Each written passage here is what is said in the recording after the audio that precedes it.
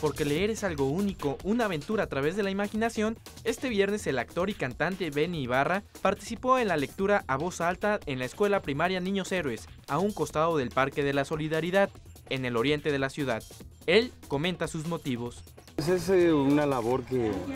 que, me hace crecer, que yo sé que es eh, entretenido para los chavos, que venga pues, un personaje, algunos conocerán mi música, otros seguramente no, están muy pequeños,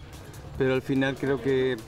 he hecho de mi, de mi carrera pues, una herramienta de comunicación social. Antes de concluir, el artista bromeó sobre la reciente visita que hizo Enrique Peña Nieto a la Feria Internacional del Libro, cuando le preguntaron sobre tres libros que marcaron su vida.